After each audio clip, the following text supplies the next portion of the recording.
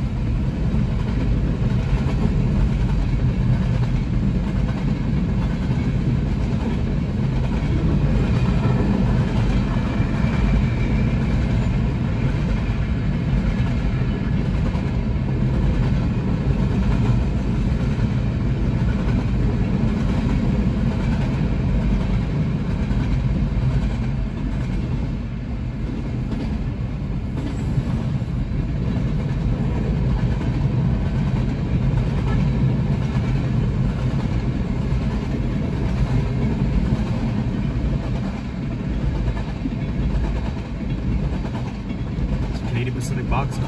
Haven't seen one of those for a while.